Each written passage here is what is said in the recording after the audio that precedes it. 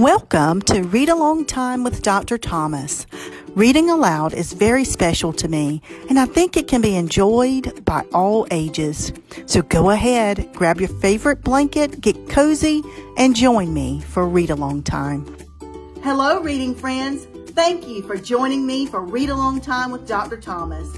Today, I am reading the book Taylor, the Thankful Turkey by Sonica Ellis.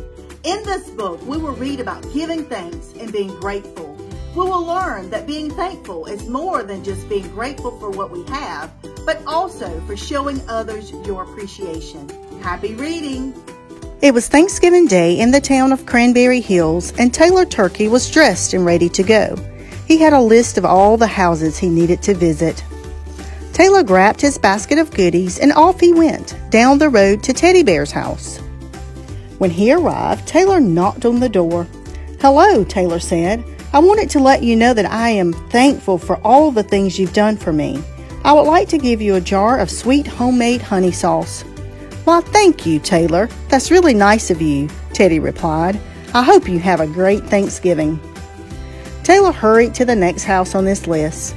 Once again, he knocked on the door. This time, Mrs. Squirrel answered. Hello, Taylor. What a pleasant surprise. To what do I owe this pleasure? she asked. I wanted to stop by and say thank you, said Taylor. I made some roasted pumpkin seeds just for you. How kind of you, exclaimed Miss Squirrel. Happy Thanksgiving, Taylor. Taylor walked a little further and soon arrived at Mr. Rabbit's house. Just as he was about to knock, the door opened. Well, hello, Taylor. It's always nice to see you, said Mr. Rabbit. I wanted to stop by and give you this basket of carrots, said Taylor. They're fresh from my garden. Happy Thanksgiving, Mr. Rabbit. Taylor visited all his neighbors, family, and all his friends. He told them how thankful he was to have them in his life, and he gave each of them something from his garden. Before long, word of what Taylor had done spread through the town. Everyone decided to follow in Taylor's footsteps. Gifts of sweet potato pie and cranberry jams were exchanged.